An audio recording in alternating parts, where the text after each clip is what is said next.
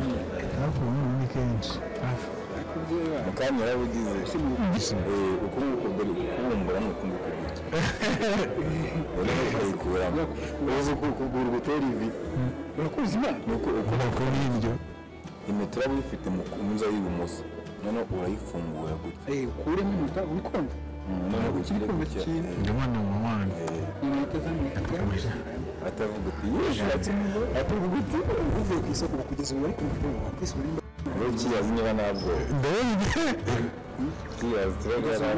niyo minota ibiri usigaye nyinshi yo kwisubira ntabwo wakwisubira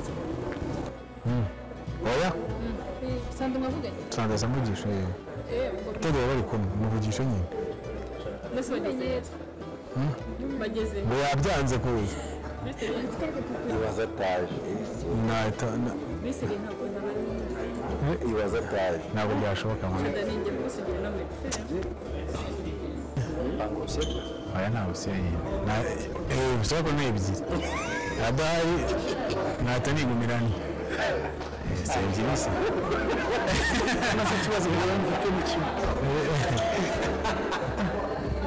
Adahari eh, wawe wawe. Ntacyo nigumirane. Ko nta muntu nkawe ntazongera kubona. Ntubeshye ntawe.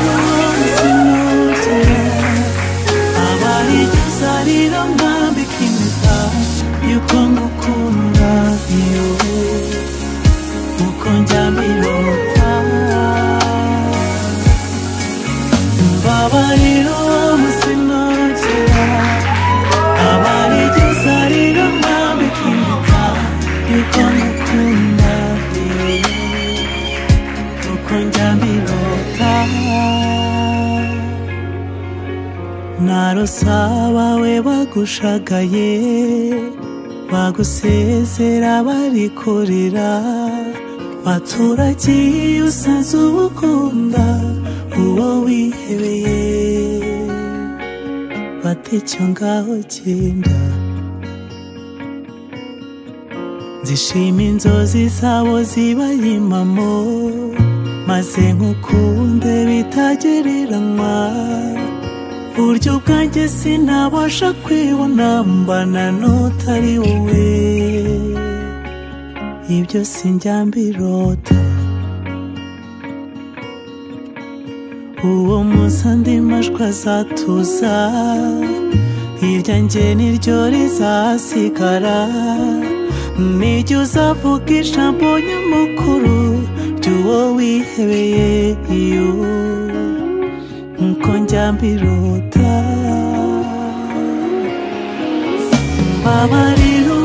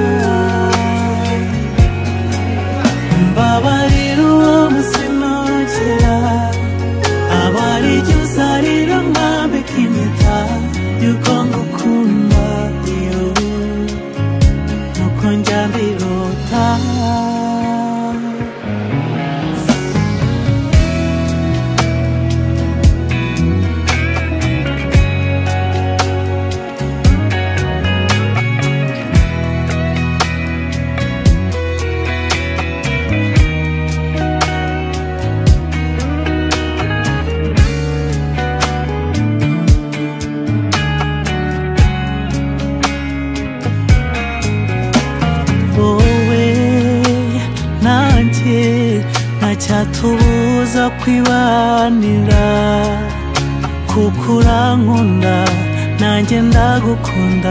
Igisigaye no kwibanira burundu tunezerewe.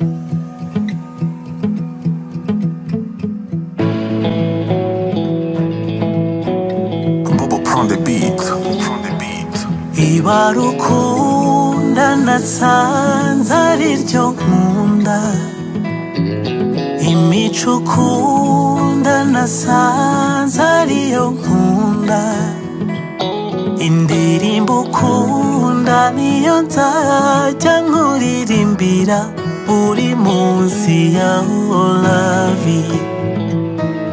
Mana my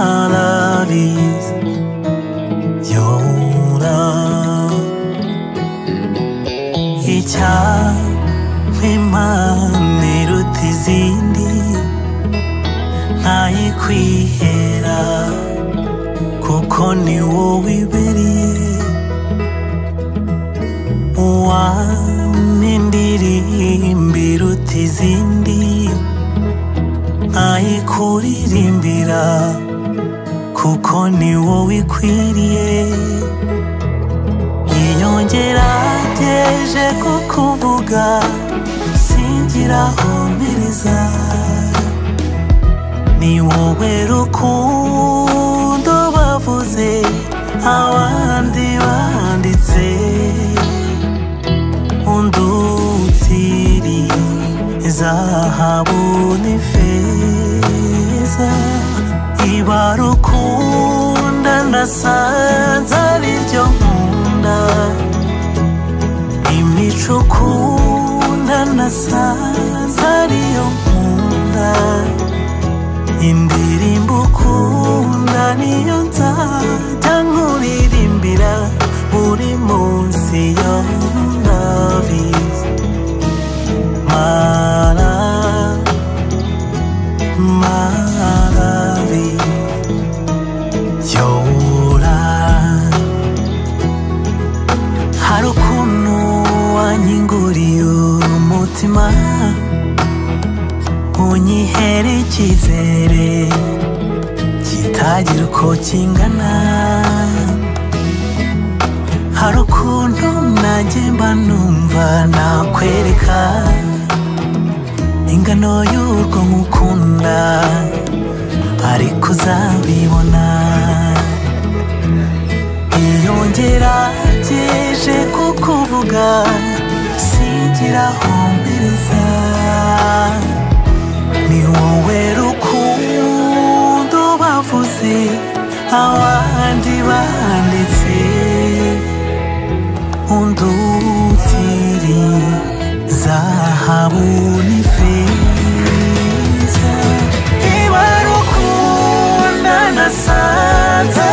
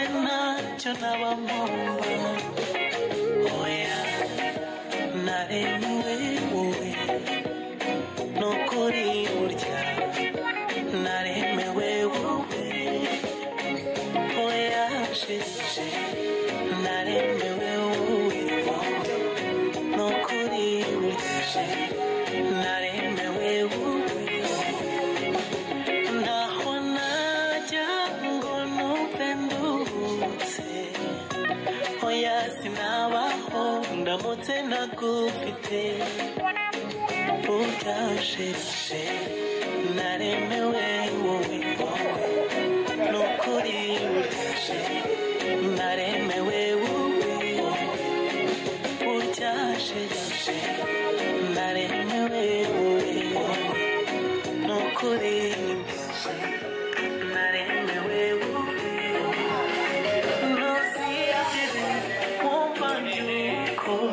tenda na kusika ya warosi uko ndiko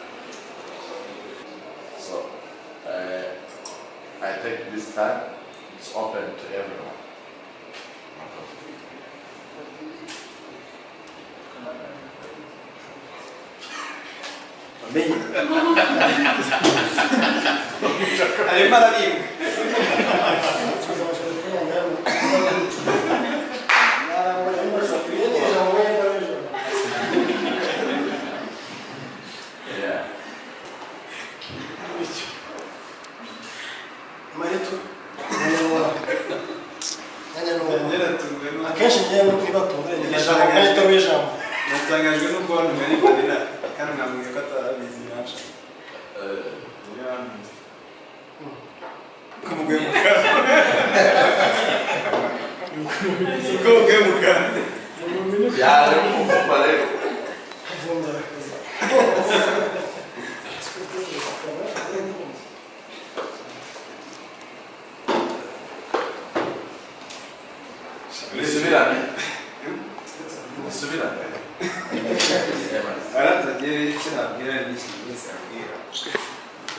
reality ni uko twese twishimiye twishimiye uyu munsi uh, buriya muri petit frere ariko buriya abantu bagifite ukuntu bageze gutya akagira nk'akantu kagasaza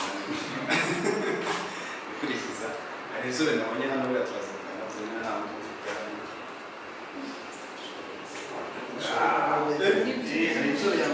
hari inzobe ni nyinshi ntabwo ugeze mu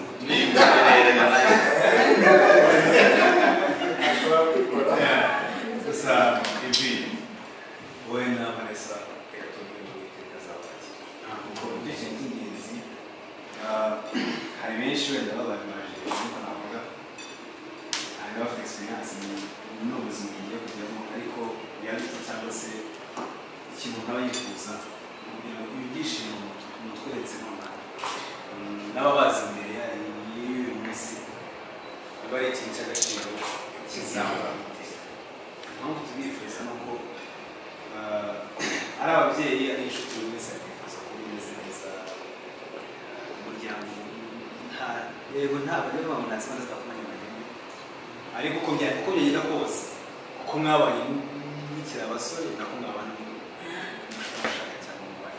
So uh, gusa rero ni ikintu gifite amatsiko. Ni ukumenya story behind kuko ngubu nta vanira ashobora kuba yaje atazi aho aje barakora ibyo mwamukoreye ko wenda yexpectinga ibintu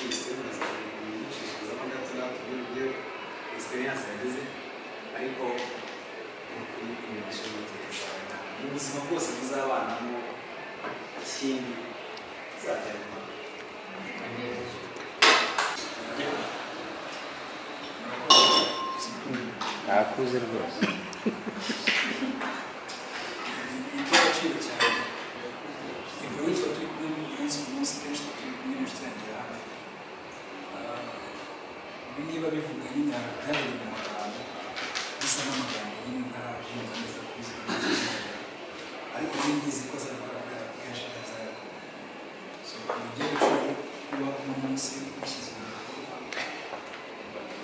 Hari ikintu dukora nk'ikintu gitoya ariko witangira by'ikintu kinini hari urugendo rurerure ibikorwa byinshi azakora imbere ariko ubu ngubu ntabwo akiri wenyine mu kuvuga ngo agiye kwaguka ari cyo kintu kiri kurusha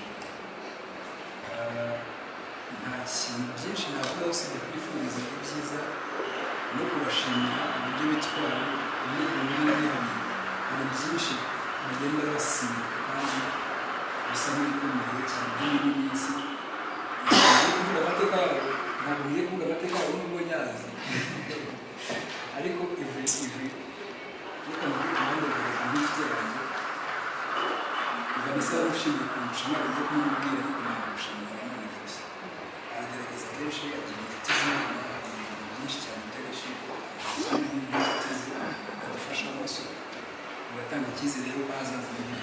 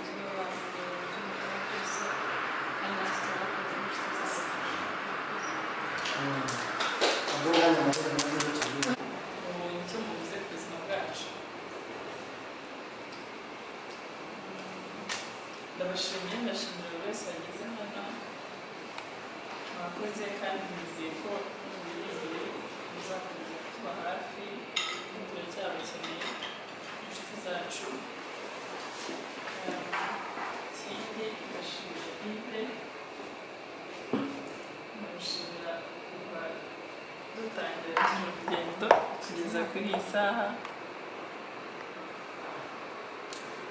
yambereye umuntu mwiza birenze kuko nabitekerezaga tukimenyana ubu ntabwo ndi muri pozisiyo yo kuvuga ibintu byinshi kuri we nshobora amarangamutima ariko siyo ibyo navuga mugabo mu by'ukuri wenda ntabwo navuga ngo ntabwo natunguwe natunguwe ariko kubera ko muzi ubundi ikintu kitarimo agikora neza nk'uko agikora ndamushimiye rero ko atigeze antenguha ku munota wa mbere twamenyanye kugeza muri isaha n'indi myaka iri imbere none umugisha